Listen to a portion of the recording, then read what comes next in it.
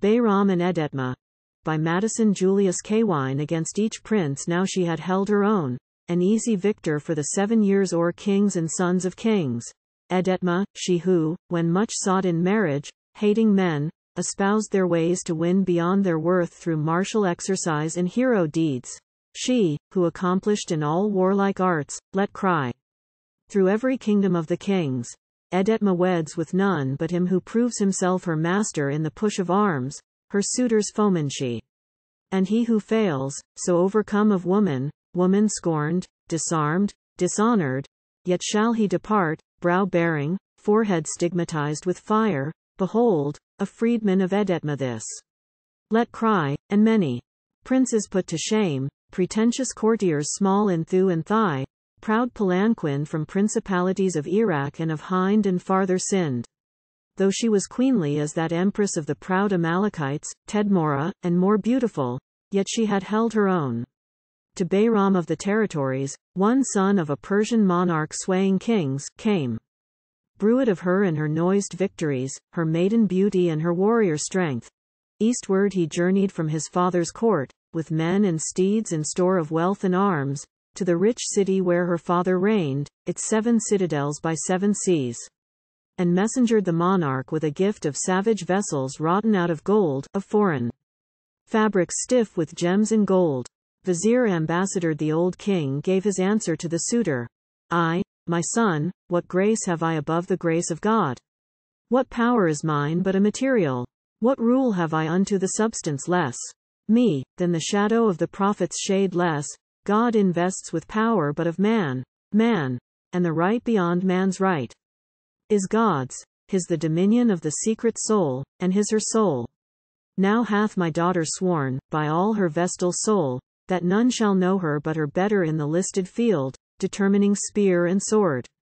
Grant fate thy trust. She hangs her hand upon tomorrow's joust, a prize to win.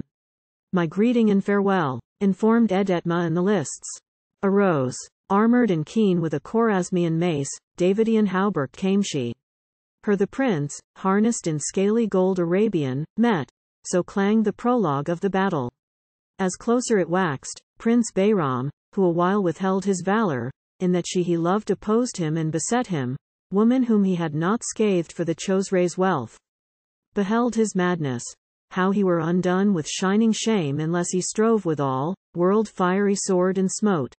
The bassinet rushed from the haughty face that long had scorned the wide world's vanquished royalty, and so rushed on his own defeat. For like unto a moon grey clouds have caverned all the eve, the thunder splits in virgin triumph. There she sails a silver aspect, vanquished so was Behram by his blow. A wavering strength swerved in its purpose. With no final stroke stunned stood he and surrendered. Stared and stared, all his strong life absorbed into her face, all the wild warrior, arrowed by her eyes, tamed, and obedient to lip and look.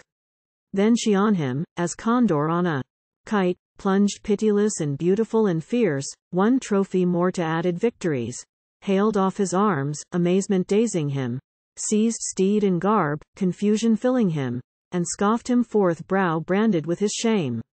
Dazzled, six days he sat, a staring trance, but on the seventh, casting stupor off, rose, and the straightness of the case that held him as with manacles of knitted fire, considered, and decided on a way.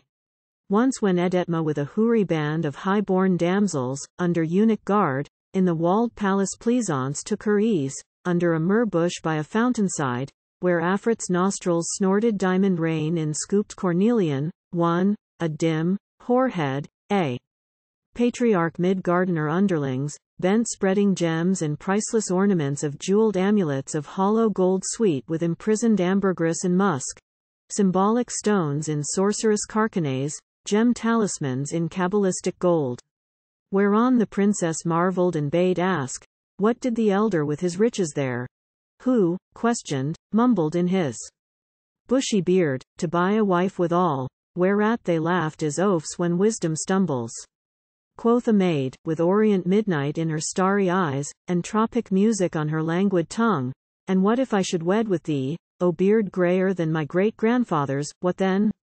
one kiss, no more, and, child, thou wert divorced, he, and the humour took them till the birds, that listened in the spice tree and the plain, sang gaily of the grey beard in his kiss.